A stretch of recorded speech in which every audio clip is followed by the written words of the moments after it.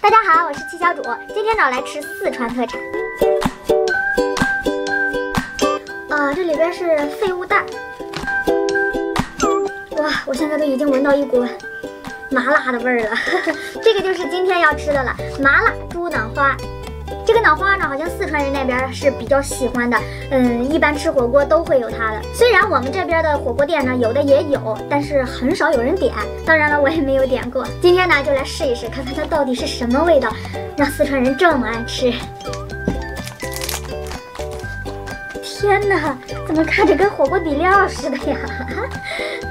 哇，这个麻辣味越来越浓了。好香啊！我它这个脑子好像都有点碎了吧，看不太出来了。那个轮廓不知道是不是整的呀？哇，里边是完整的。哇！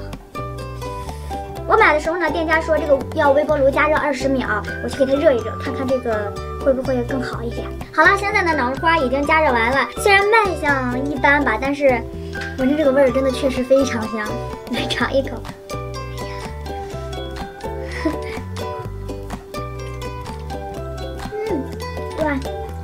这就是麻辣火锅的味儿啊，又麻又辣，软硬程度就跟豆腐差不多，吃在嘴里呢特别的绵软，就是跟咱们平时吃的那个兔头啊、鸭头里边那个脑子差不多，只是它加了麻辣的这个调料味儿，就非常的香了，并且里边好多的油，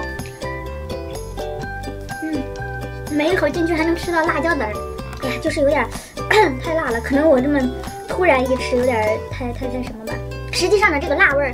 嗯，其实也还好啦，也算能承受，就是那种香辣，稍微有那么一丢丢的麻，不是很明显。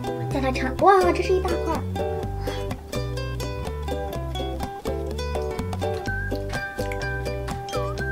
嗯，现在这个大口吃，可比豆腐软多了，非常的绵绵软，哇，都粘到舌头上了，我感觉一下子就成了那个，都碎成沫了。它这个口感吧，很衬托这个香辣味儿，并且也特别入味儿了。大块吃也是很麻辣的。开始我还在考虑呢，吃着会不会有很特别的味道呀，或者是嗯，就不太好接受。但是现在吃着确实很好吃，这道超级香哇！它里边的肉还白着呢。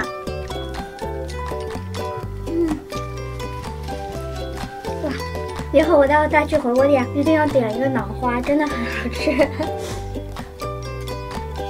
嗯，有点出汗了，但是好香。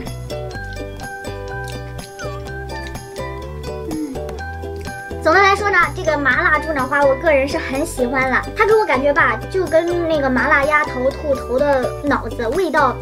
非常像，如果能接受那个的话，我觉得这个猪脑花应该是没有问题的。当然了，它本身是没有什么味道的，所以好不好吃呢？这个调料还是挺关键的。好了，今天的麻辣猪脑花就试吃到这儿了。喜欢我视频的小伙伴记得转发、关注、点赞哦，拜拜。